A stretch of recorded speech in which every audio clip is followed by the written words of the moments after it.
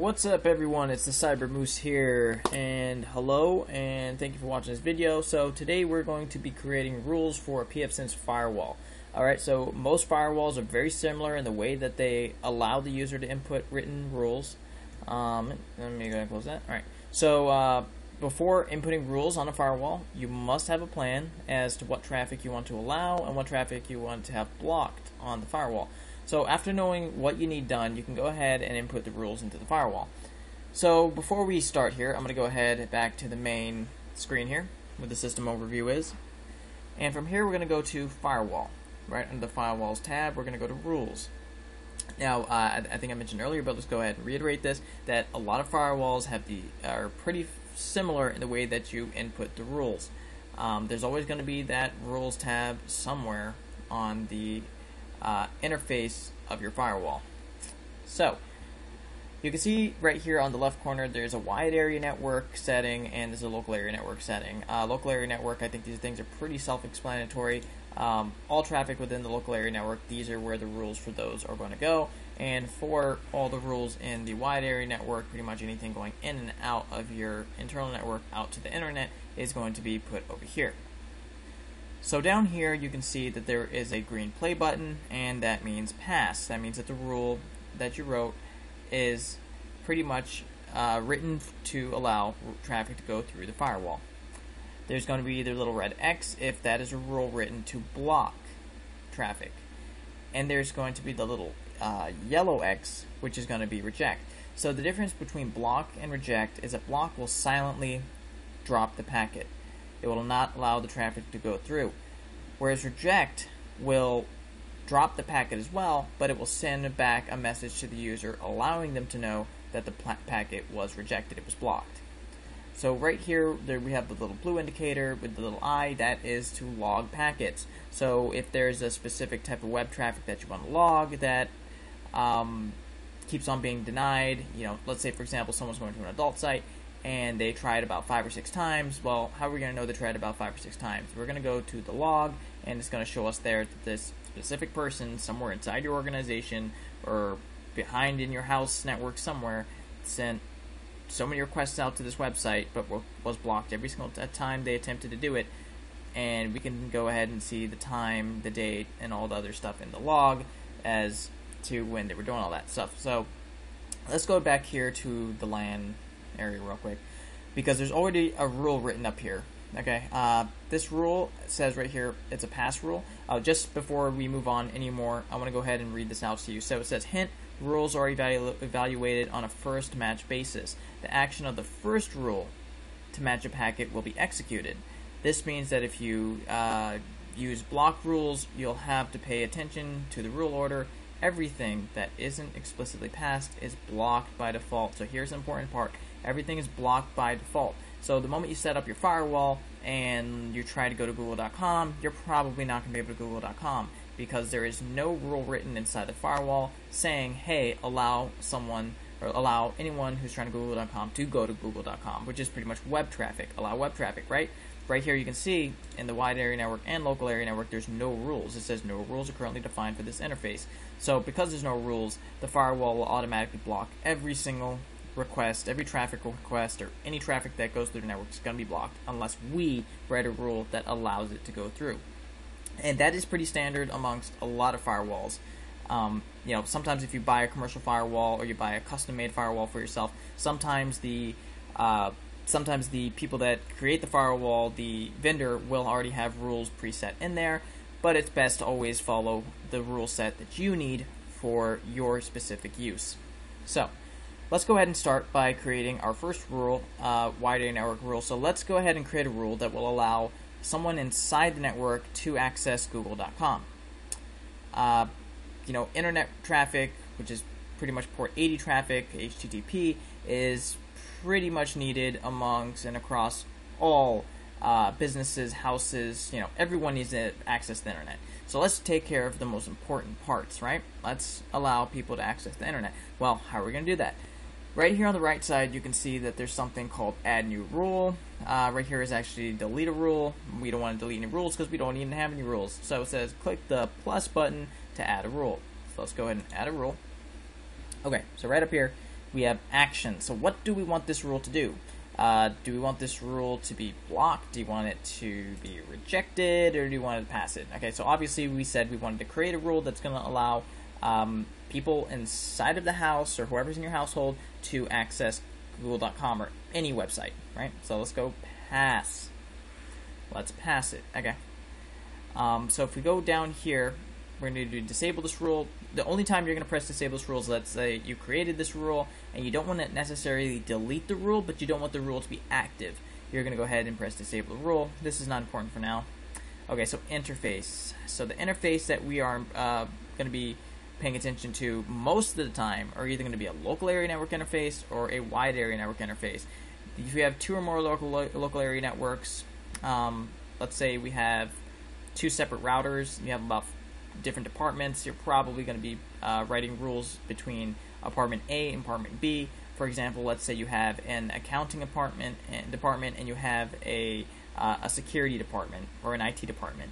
You don't necessarily want traffic. Let's say you don't want web traffic or a specific type of traffic, like FTP traffic, to go from the local area network uh, of the accounting uh, over to the IT. So you would use something like this to block that traffic between the local area networks. Uh, wide area network, this is, you know, these are interfaces. B will stick with the wide area network interface. This is anything going out to the internet, and this is anything coming in from the internet.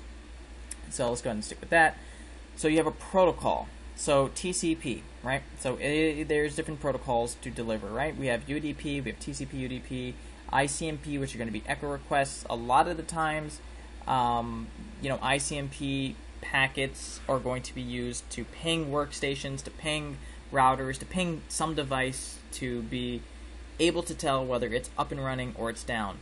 It's a good thing for some cases, and it's a bad thing for other cases. Hackers like to use ping requests to uh, different servers to routers and stuff to see if they're up and running. That way, they know they can, you know, if they can attack it or not, or if there's a machine there or whatever, whether it exists or not.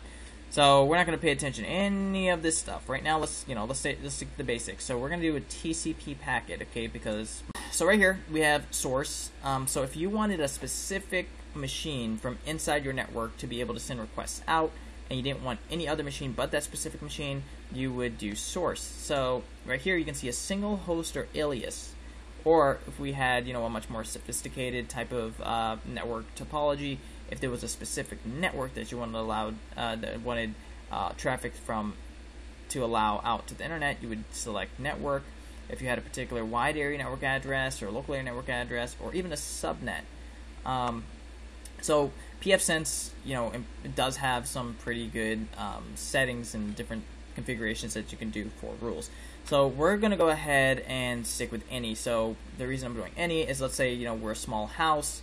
Uh, we have five users inside the house and we have a router and our firewall is configured, you know, somewhere in between. We want all the traffic, all, all the uh, all the traffic from all of the different machines inside the house to be able to be sent out. So uh, let's uh, you can actually put the IP address of a particular machine in here if you wanted to um, but that's not important right now. So what's interesting here is that you actually have source operating system. So for example, uh, let's say that we know everybody in the house has a Windows machine, right? So you can see you have Linux, uh, FreeBSD, NetBSD, open source, Mac OS, Windows, everything Novell. So let's say, for example, we had five users inside the house and everybody had a Windows, but you knew that there was someone in the house that had a Mac you know, just that one black sheep has a Mac and you don't want them to access the internet. So we're just not going to write a rule for them. We're just not going to allow. We're just not going to write a rule that says, "Hey, let Mac OS um, systems make requests out to Google.com." So we're not allowed, not going to allow that. So, but we're going to stick to Windows. Okay. So in particular, let's say Windows to be more safe. Now, destination. In this rule, we're pretty much saying uh, which websites or what type of traffic is allowed to traverse the network out to the internet, right? So if you actually go right here, you can see. Um, oh, I'm sorry. Yep, this is the uh, the destination. So pretty much it's saying uh, where do we direct the traffic? Where do we allow the traffic to go? And if the traffic does, and if the um, if the request to the internet does not go along the lines of what we want it to, we pretty much block it. So we will do any. Mo most of the times you will see people leave this as any, and they leave source as any. Um, also destination port. Okay, so right here. This is where I meant to do, uh, meant to talk about instead of that one. But all right. So we have the destination port now. So from the destination port, we want to say, remember we said we are going to talk about web traffic, right? So this rule is pretty much allowing web traffic. So we can go ahead and do HTTP, and you can see it's going to say from. So usually when you make a request out to a, a, a, some type of web page out on the internet, it's going to be an HTTP port on your machine, and it's going to be sending an HTTP. Um, it's going to be using HTTP protocol out port 80 and uh, and port 80 or to port 80. Okay, so from and to. So uh, we want to keep that HTTP because that is web traffic and that's what we want to allow, right? We can't make that Google, we can't make the request to Google unless we obviously allow web traffic to go make that request. So let's go ahead and keep that there. Now log packets. Um, this is, you know, th if you wanted to log stuff, you would use this, you know, for security purposes or for references or whatever else you needed it for, you would keep that there. Okay, um, I'm going to go ahead and not select log just for now because we don't want to log these things. So if we go to schedule, um, so schedule is really interesting actually. Uh, so let's say that you had, you know, it says right here, lead as none to leave the rule enable all time. Let's say sometimes you actually want to shut down this rule, right? There's a specific time of the day. Uh, you know, this is the rule that allows people to go to the internet. So let's say that it's, you know, 12 o'clock at night, you know, at 12 o'clock in the morning, you want the kids to go to sleep, you don't want anybody to be on the internet. Uh, this will be the rule that anytime after the time of 12 and between between the time of 12 a.m. and let's say 10 a.m. this rule will be disabled. So nobody's going to be able to uh, access the internet because this rule pretty much will not allow internet activity to be uh, initiated unless this rule is active. So this rule can be active within specific times of the day. So you always want to keep your uh, gateway uh, to default um, and then description. Description is very important. So we said that this rule we created was to allow uh, web traffic. So we can go ahead and describe this by just doing web traffic rule, and then you can kind of sometimes put the protocol HTTP. Okay, so this is the web traffic rule. And we just do save right here. Now it says this uh, firewall rule configuration has been changed. You must apply the changes in order for them to take effect you do not want to click up here anything else, exit, anything like that until you have saved this. Let's apply the change. Okay, so now you can see here we actually wrote our first rule. So this is saying that our protocol that we are allowing users to use is TCP. We're allowing it to come from any source, from any IP, any machine inside the network, um, any port on that machine inside the network, any uh, destination, and to make sure that the traffic or the traffic that we're allowing is going to be port 80 traffic, um, nothing else. And the gateway it's going to be using is any. So the, the, anytime you see these asterisks, it's going to mean any, right? Or all. You can say all or any. You know, um, I think the, the, the I think the, the it's better put as an all.